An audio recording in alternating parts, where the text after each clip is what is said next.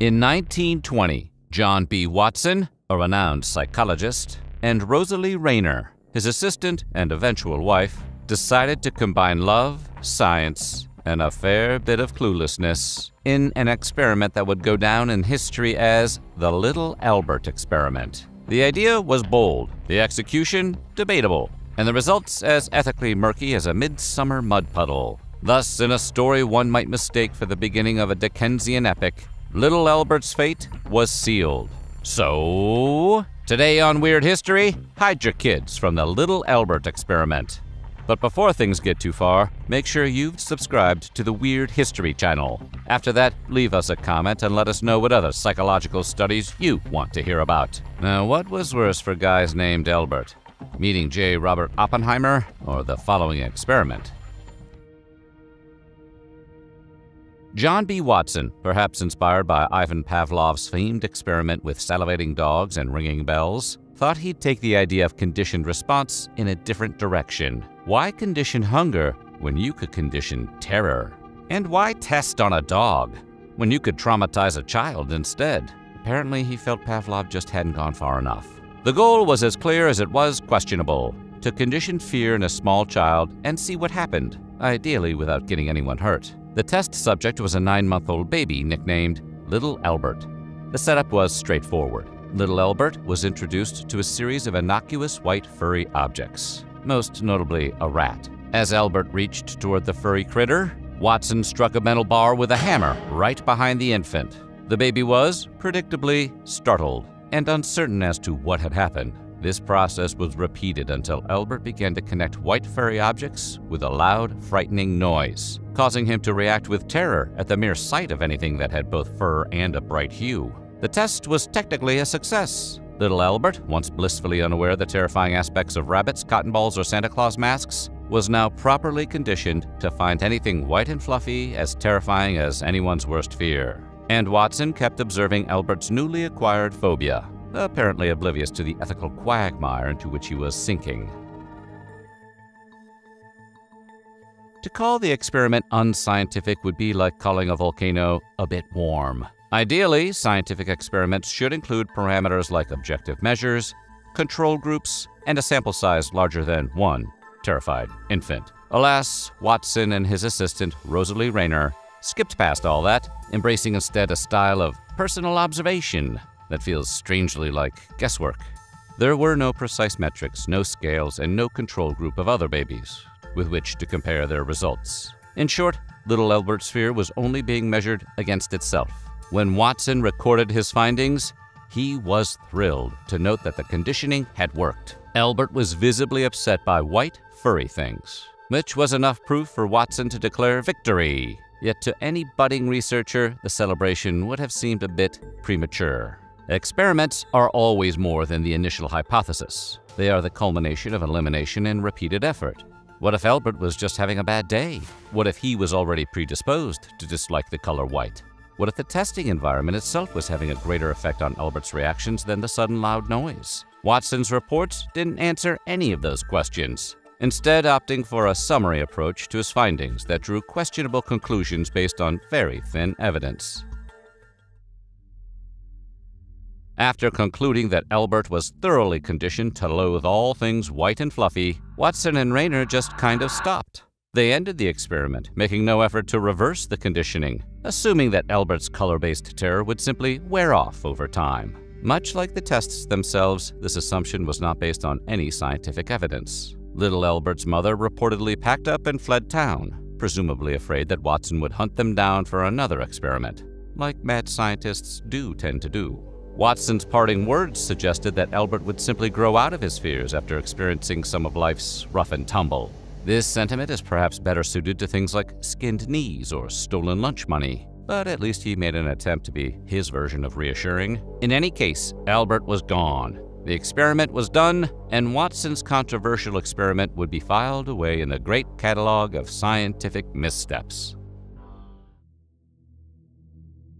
During his experimentation, Watson waxed poetic about the exemplary health of little Albert, one of the best developed youngsters ever brought to the hospital, Watson noted in his 1920 paper, citing the boy's unflappable demeanor as proof of his suitability for the experiment. But it wasn't long before scholars began to poke holes in Watson's rosy description. Some suggest Albert may have had developmental delays or neurological issues, raising a massive red flag that would impact the results of any tests. Obviously, this possibility is something a reputable researcher would have eliminated before beginning any experiment. But reputable and John B. Watson have rarely occupied the same sentence. Watson wasn't around to address these allegations, and what's more, he burned all his notes on the experiment before his death, like what mad scientists do tend to do.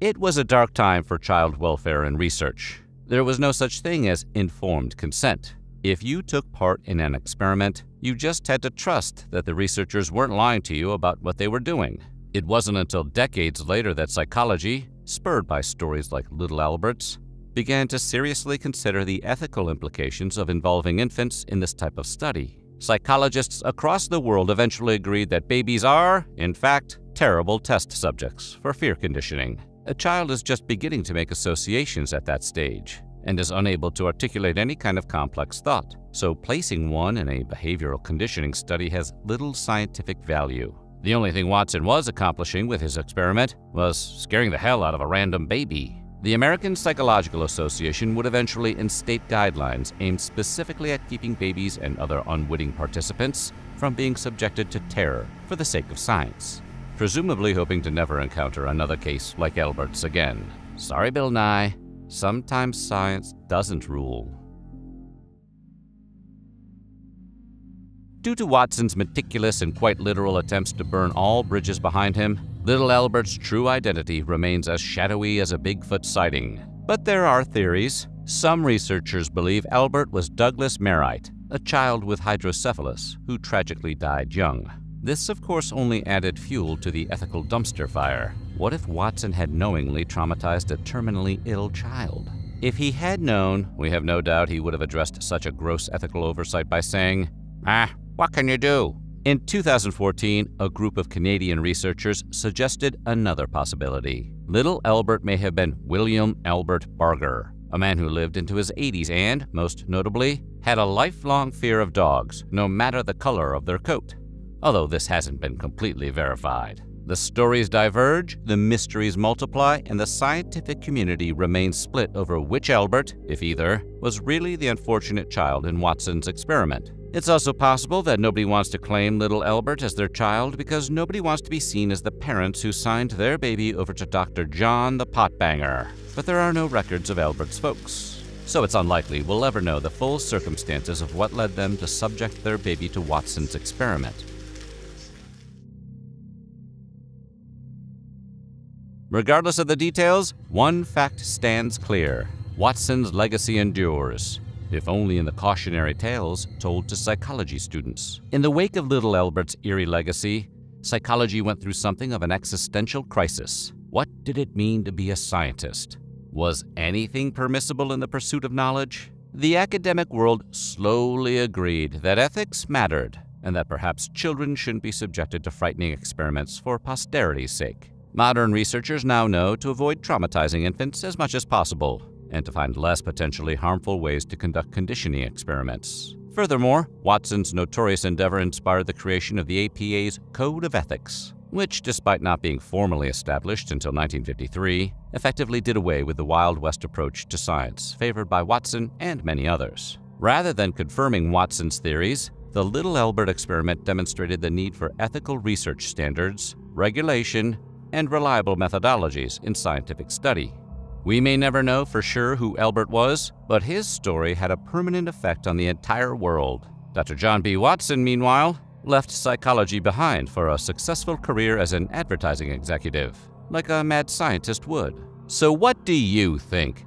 Was the little Albert experiment justified? Let us know in the comments below, and while you're at it, check out some of these other videos from our weird history.